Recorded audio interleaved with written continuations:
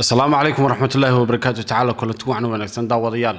Kusoo dhowaada waraysi gaar oon la yeelano wasiirka wasaaradda howlaha guud gaadiidka guriyeynta puntland axmed bashiir muuse ciro marka ugu horeysa wasiir ku soo dhawow telefishinka caalamiga ee saab.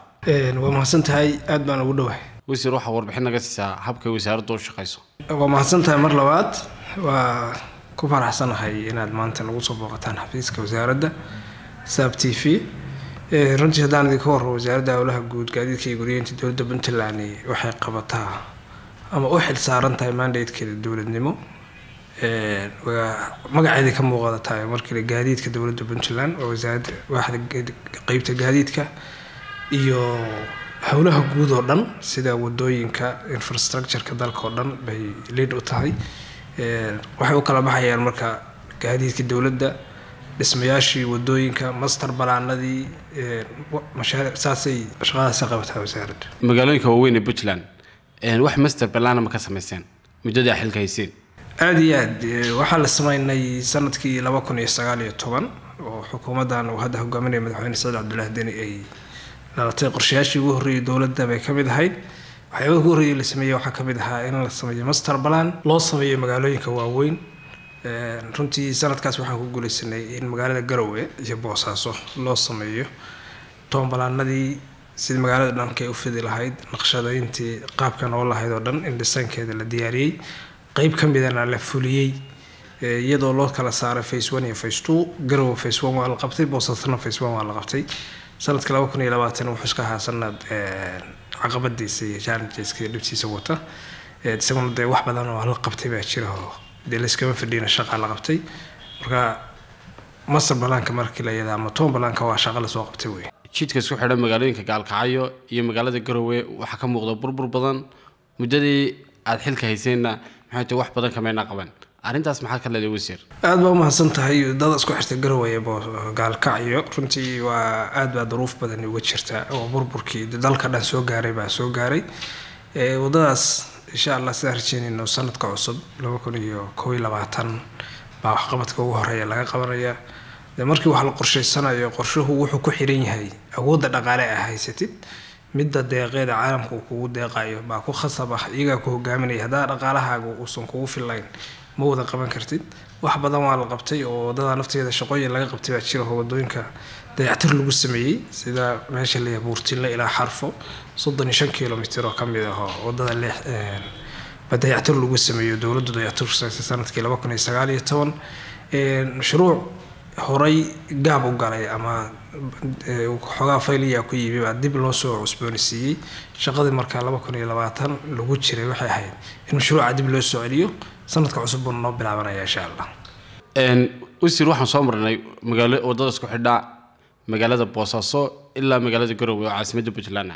ah ka mid ah in ay go-an yihiin buudooyinkii deegaankaasi waa mahadsan tahay mudane boosaaso iyo qarno ilaa iyo boosaaso runtii shaqo badan baa iyada laga qabtay roobabkii guga ee sanadkii laba kun iyo sagaal iyo tobanka da-ay baa waxyeelay oo runtii damage aada u weyn u geystay wadankuna wadankaa ballaaran ee aragtay waa garowe ilaa iyo boosaaso waa afar boqol iyo konton iyo shan kilomitr intaba waxbaa soo gaaray afar boqol konton iyo shanta kilomitr kulli dhaawac baa soo gaaray ha kala darnaadeena meelaha u daran oo aad waa soo aragteen oo indhihiina ku soo aragteen waxbaa laga qabtay meelihii ugu liitay. Tusaale haddaan u soo qaadano garowe ilaa iyo kalabayr waxay isu jiraan boqol iyo siddeetan kilomitr dayactir baa lagu sameeyey meelihii go'ay oo dhan ama dhulkii la buuxbuuxinta u baahna waa la buuxbuuxiyey. Kalabayr iyo yalho halkaas ilaa sagaal kilomitr baa qeybna la qaaday qeybna dayactir lagu sameeyey. Maadee shaqada dowladdu qabatay sanadkaas ee labadaas sano bay muhiim ka ahayd. Inta kaloo dhiman isla shaqadaas la qabtay waxaa ku jira buundooyin la qabtay. Ilaa afar buundo baa ilaa lix buundaan leeyahay baa hadda la dhammaystiray kuwa kalena qorshahay ku jiraan waxaan rajeynaynaa maalinba taa kan qaadaynaa sanadka cusubna waxaan rajeynaynaa intii iyo in ka sii badan inaan qabano wasiir waxaa jira waddo laami ah oo lagu dhisayo isku oo dadka deegaanka puntland ay dhisadayaan waddadaas waa ceel daahir ceeri gaabo isku xidhaysa. Bal nooga warbixiyo waddadaas waddadaas ceel daahir ceer gaabo waxay soo bilaabatay sannadkii baa hindisaheedu bilaabmay. Waxay ku timi fikrad ka timi bulshada reer puntland iyo xukuumadda oo markaas joogtay waxay noqotay mashruuc runtii lagu dhiiraday in la bilaabo oo aan laga helin dowlado shisheeye deeq ku bilaabmay aragti kooban u soo gudbay bulshadoo dhan in magaranaysa mashruucaasu mashruuc dhaqaaqi karo hirgeli kara yahay. Mashruucaasu runtii soomaalidoo dhan markii la yidhaahdo wuxuu tusay in soomaalidu wax qabsan karto in wax la hindisi karo in dhaqaalaha iyo jeebkeena waxa ku jiraan wax ku qabsan karno.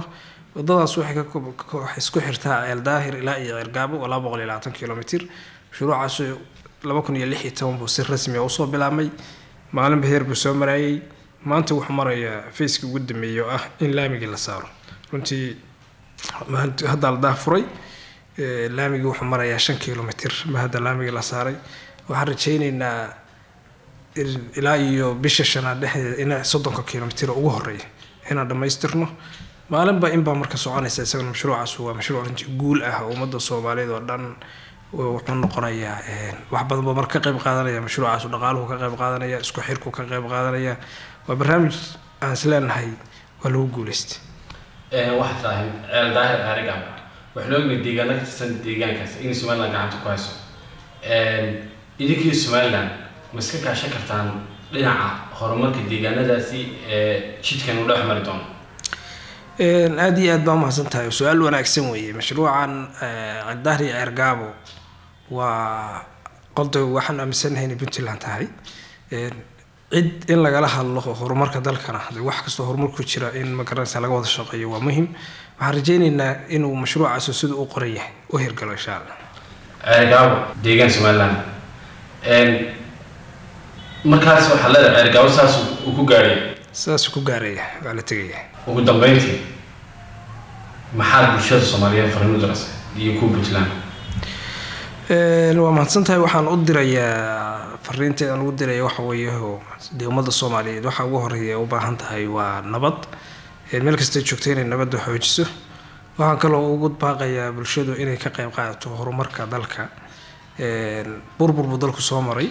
Waa sagaashan iyo kowdii iyo xilligii wadanka wixii ka dhacay cid waliba way garanaysaa. Intii ka dambeysay dadku waa soo kabanayeen noloshu nooc walba ha ahaatee. Runtii maanta marka waxa ugu muhiimsan oo ummadda la dhihi karo waa nabadda iyo horumarka inay ka qayb qaadato weliba si gaara waxaan leeyahay bulshada reer puntland inay qayb uga noqoto dib u dhiska dalka sida waddada ceeldaahir ceergaabo loo dhammayn lahaa wadooyin kalena loo dhisi lahaa inay qayb ka noqdaan. Daawadayalintaas waxaan ku soo koobinaa waraysigii gaarka aan la yeelanay wasiirka wasaaradda howlaha guud axmed bashiir muuse ciro aad iyo aad baad mahadsantay wasiir. Thank you